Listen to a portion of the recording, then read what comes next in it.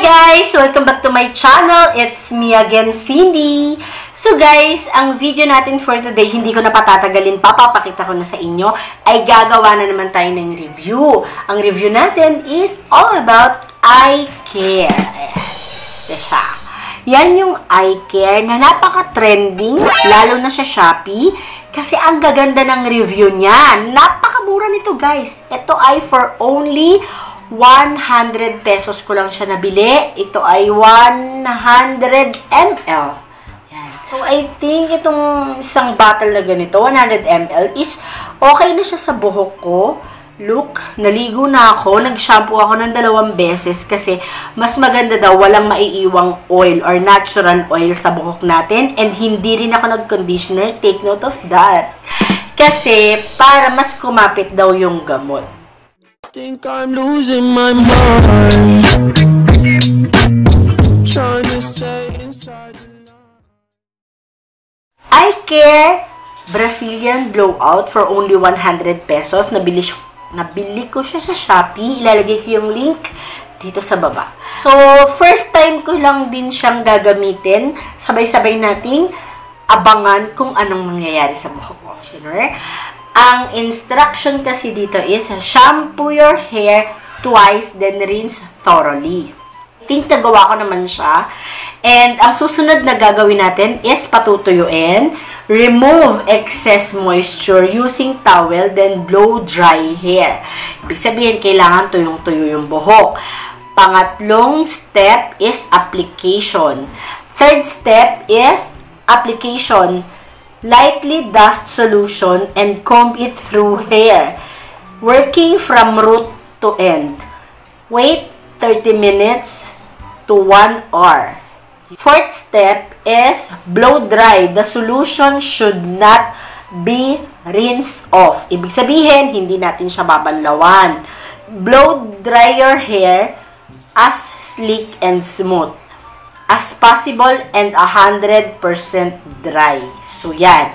Ibig sabihin, pagkatapos natin siyang ibabad ng 1 hour, 30 minutes to 1 hour, conforme siguro sa pagkaka-curly ng hair natin or wave ng hair natin or frizzy or rubberized ng hair natin, ibababad natin siya. Yung sa akin, ang gagawin ko is 1 hour ko siyang nababad pagkatapos ng patutuyuin ng tuyong-tuyo 100%.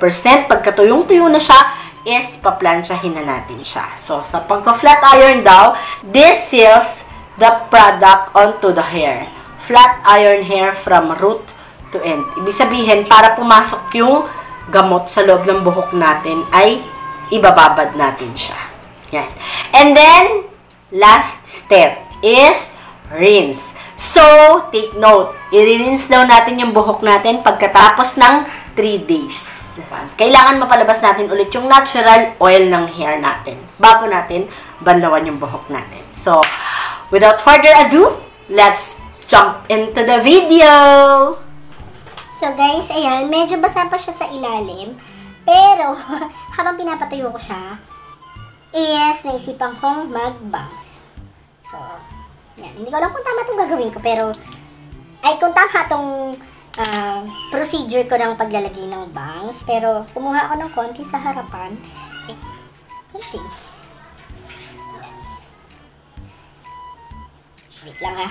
Biglang kinabahan. Buong buo yung loob kanina. Yan. So, I think hanggang dito.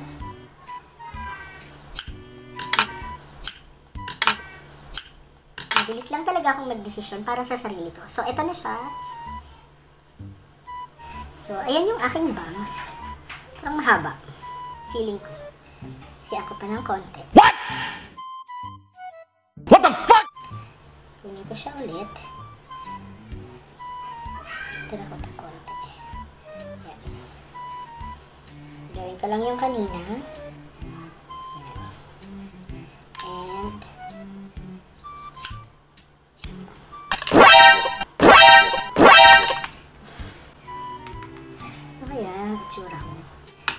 feeling ko maiksi pa rin. Ay, maiksi. Mahaba pa din.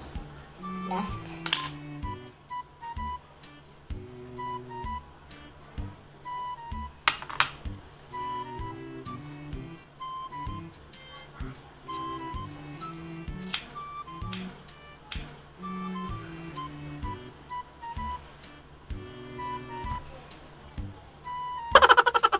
Ayan yung kinalamasan niya. yung mga Puno-puno naman, tas ang bango niya, unlike nung mga nagamit ko dati, di ba may mga nagamit na ako dati na ang sakit niya sa ilong, tapos masakit pa sa mata. Mga Brazilian keratin din, ginawan ko rin yun ng review. But this one, parang kang biglang inantok nung inumoy ko siya. This one is, parang fruity ang amoy niya. Ayan.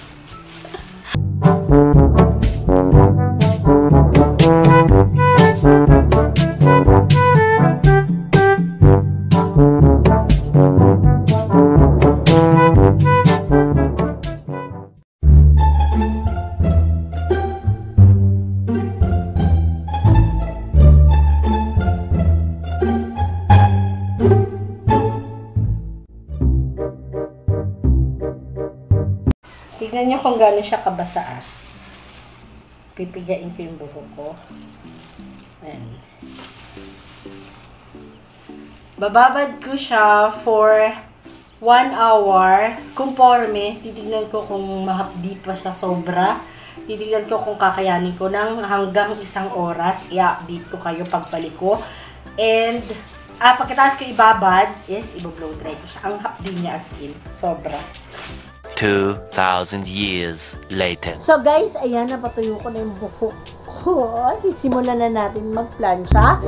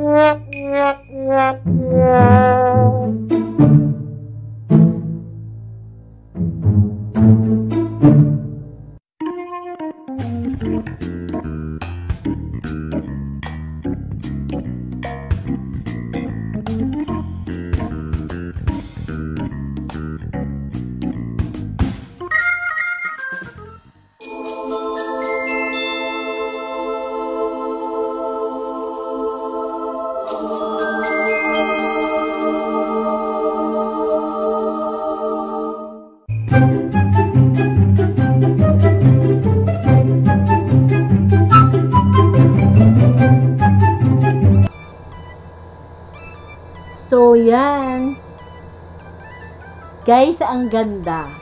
Ang ganda kasi bagong plancha. Pero hindi tayo hihinto dyan.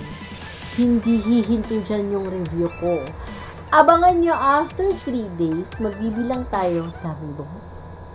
Magbibilang tayo after 3 days kung ganyan siya ka straight. Ah, hindi naman siya bumalik sa dati kong buhok. Nawala yung frizzy ba? Kung nawala ba yung pagka-rubberize niya? Kung nawala ba yung dryness? Ganon. Yun ang titignan natin pagbalik. After 3 days, ulit tayo magkikita guys. Bye-bye! Eventually, uh.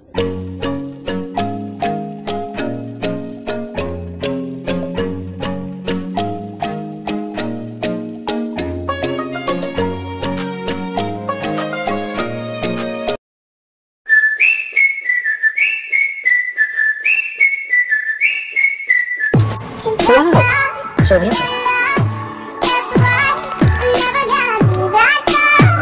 Please subscribe and hit the notification bell.